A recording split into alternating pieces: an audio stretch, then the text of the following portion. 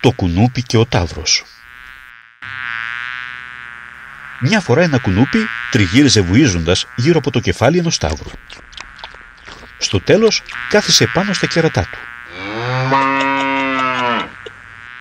«Με συγχωρείς φίλε μου», του είπε, «που σε ενοχλώ. Αν σου δίνω πολύ βάρος να μου το πεις, σε παρακαλώ και θα φύγω αμέσως. Λοιπόν κύριε Ταύρε, φεύγω. Είσαι ευχαριστημένος τώρα; Τι έγινε; Είπα φεύγω. Μπα, μη σκιάζεσαι, του αποκρίθηκε ο Ταύρος. Το ίδιο μου κάνει είτε φύγεις είτε μείνεις.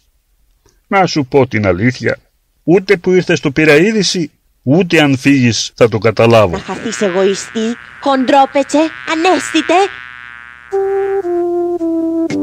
Επιμήθειον. Όσο πιο λίγο μυαλό έχει κανείς, τόσο πιο πολύ το παίρνει απάνω του.